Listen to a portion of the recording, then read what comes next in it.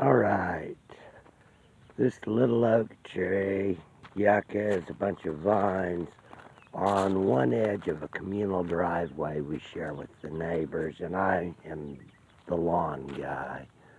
Uh, today I am going to be taking some of the lower branches out and trimming up some of this stuff because everybody hits it when they pull in. Going to be taking the old dead flower spikes out of the yuccas, getting rid of a bunch of the vines, and uh, we'll see what it looks like whenever I am done with that. Here's something rather interesting.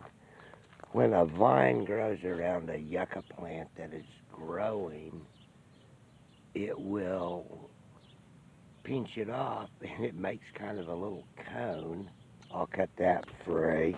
I'm going to try not to get stabbed too many times here. Woohoo. Phase one. I'll be back later.